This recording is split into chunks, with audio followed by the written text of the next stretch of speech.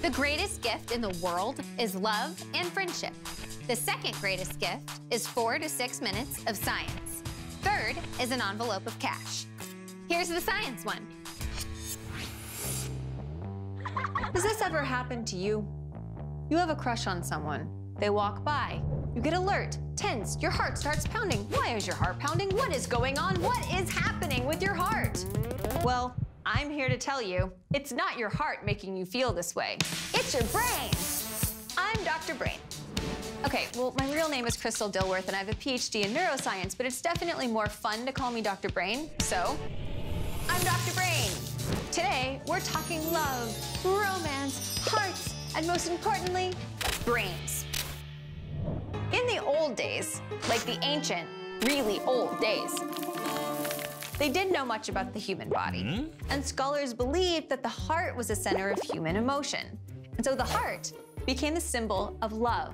And that's how we got phrases like, Be still, my heart. I love you with all my heart. But we're actually closer to the truth when we talk about love as chemistry, brain chemistry. Be still, my brain. I love you with all my brain.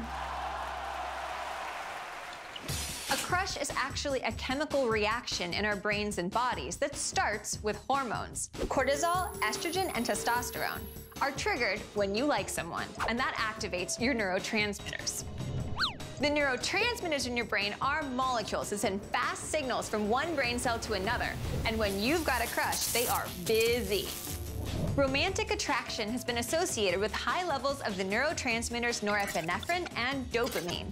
Norepinephrine is an important part of the brain's stress response. And when your brain perceives stress, either good or bad, the norepinephrine flies. Your heart starts to beat faster, maybe your palms get sweaty, or you start to shake.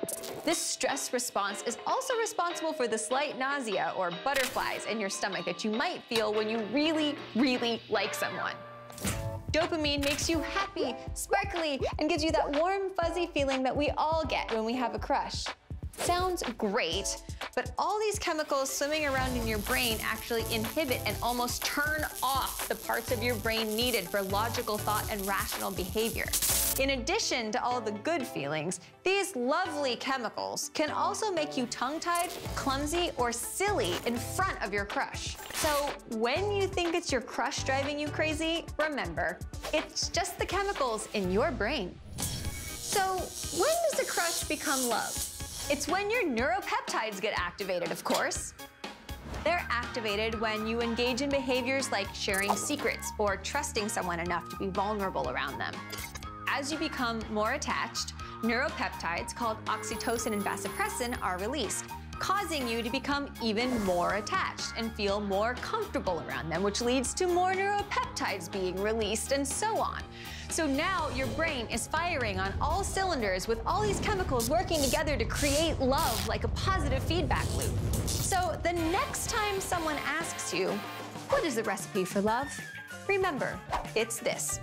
Cortisol, testosterone, estrogen, norepinephrine, and dopamine, plus oxytocin and vasopressin equals love. It's chemistry. No, really, it is. Bye.